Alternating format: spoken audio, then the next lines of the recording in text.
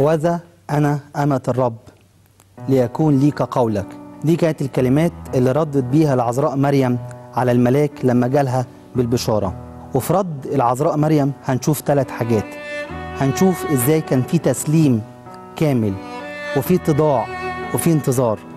إزاي كان عندها تسليم لإرادة ربنا في الوقت اللي جالها في البشارة. وإزاي كان عندها اتضاع إنها تكون بتقول أنا خدامة لربنا. ومع ذلك كمان بتقول ليكن ليك قولك يعني أنا منتظرة تتميم وعد ربنا في حياتي.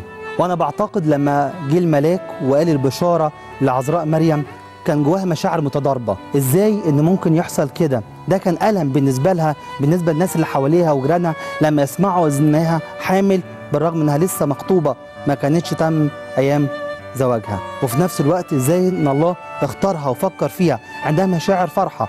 لكن كل المشاعر المتضاربة اتحدت مع بعضها عشان تخرج حاجة مهمة جدا إنها تقول هوذا أنا أمة الرب.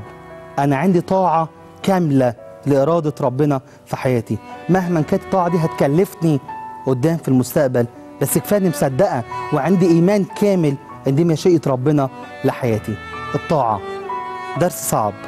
في المدرسة إحنا بنعيشها في حياتنا. مش سهل علينا إن إحنا نسمع كلام ربنا بسهولة وإن إحنا نطبقه.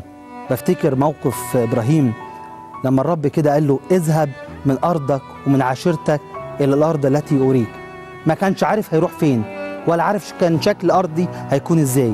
لكن هو صدق وكان عنده إيمان أن ربنا عايز يحركه في الوقت ده. الكتاب يقول كده فأطاع إبراهيم فحسب له برا. الطاعة. عشان خاطر إتمام مشيئة ربنا. حتى لو كان للطاعة تكلفة كبيرة آه.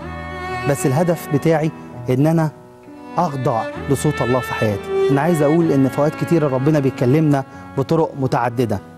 بيقول لنا رسائل كتيرة وأوامر كتيرة عشان نطبقها ونعيشها في حياتنا.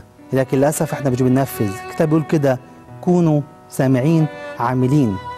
يعني إزاي إن إحنا نسمع كلمة ربنا وأوامر ربنا ونطبقها في حياتنا بكل خضوع وكل اتضاع كان سهل قوي إن ربنا يعمل كل حاجة بحسب سلطانه لكن ربنا احترم الإرادة البشرية وراح للعذراء مريم عن طريق الملاك عشان يوصل لها الرسالة. كانت ممكن ترفض ما كانش يحصل حاجة لكن هي قبلت وأطاعت ولما أطاعت اتباركت بركة كبيرة. وأنا عايز أشجع كل حد ربنا بيتكلمه من خلال الكلمة المقدسة أو من خلال العظات بيسمعها أو أي حاجة ممكن من خلال البرنامج اللي إحنا بنتكلم فيه. ربنا يكون بيوجه لك رسالة. إنك تسمع وإنك تخضع لصوت ربنا.